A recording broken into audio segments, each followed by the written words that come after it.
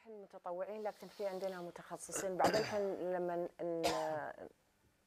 يعني لما نضع خطة آه، لتقديم خدمة معينة إحنا ننظر لجميع فئات ال- ال- السنية أو العمرية لذوي متلازمة داون، عندنا البرامج اللي تقدم مباشرة إلى ذوي متلازمة داون هم صغار سن قبل مرحلة المدرسة وفي مرحلة المراهقين وفي مرحلة اللي هم فوق 18 سنة، آه، كل حد يحصل على حاجته من الخدمات أو تسهيل الخدمات أو التنسيق مع جهات أخرى من قبل الجمعية. نعم نحن متطوعين جميعا أعضاء مجلس الإدارة متطوعين جميعا آه، لخدمة ذوي متلازمة داون ووضع الخطط كلها.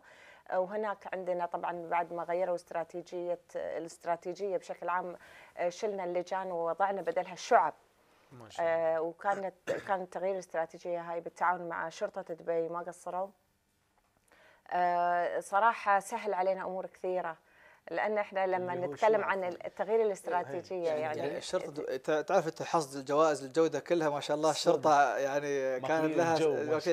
فتطوع المختصين في مجال الجودة في قيادة العامه شرطة دبي بتحديث آه، آه،. الخطة الاستراتيجية لدينا نعم فاستفدنا. يعني اعتبرناها best practice أفضل ممارسات من قيادة العامه مهنيين. لأن يعني نستفيد لما. جمعيتنا فعام تروح للشرطة اللي ماكلة الجوائز كلها بالتمييز الحكومي نعم. وتقول تعالوا عدلوا لنا على الخطه الاستراتيجية وخلينا نشتغل معاكم على ال- الجودة ومنهجية العمل والجميل الجميل في ذلك أستاذ عبد الله انهم ما يو سووا لنا اياه وروحوا وهم دربونا عليها وشرحوا لنا كيف إن إحنا نقوم إيه. فيها حتى نقوم بعد ذلك بتطويرها أنت وتحديثها تصدق. لو جهه حكومية ما يسووا لكم تنافسونهم لا إحنا تتكلم انت سالتنا إحنا كيف من يعمل إحنا نعمل نعم. إحنا متطوعين نعمل ومكرسين وقتنا وجهدنا وطاقتنا وعلمنا وثقافتنا أصلا ل آه، لهذا العمل. لكن ما نقدر نتقدم إذا ما خذينا آه، تجارب الآخرين صح. وين وصلوا. وخصوصا مثل شرطة دبي يعني واصلين يعني المتميزين في في مجال ال- الجودة والعمل.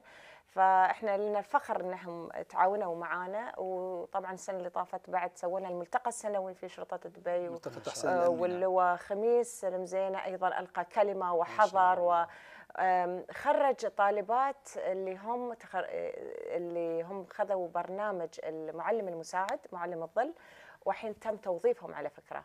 أبو شاهد يعني تعرف إن عملية مثل هذه إن لم يكن لم لم يكن هناك كادر في وزارة التربية للمعلم المساعد.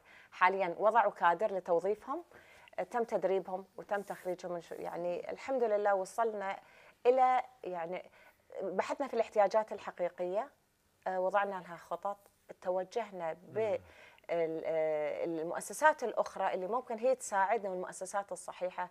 نتكلم عن وزارة الشؤون وزارة التربية هيئة تنمية المجتمع آه، شرطة دبي ويعني كل الجهات اللي هي ممكن تخدم وزارة الأشغال في اشرافها على مشروع المقر الآن هي المشرفة على الموقع وهي استشاري المشروع. ما شاء الله. بلدية دبي ساهمونا أيضا في وضع ال- اللوحة التوعوية في موقع ال- المقر وإن شاء الله جميع الدوائر أيضا الباب مفتوح لو أنتم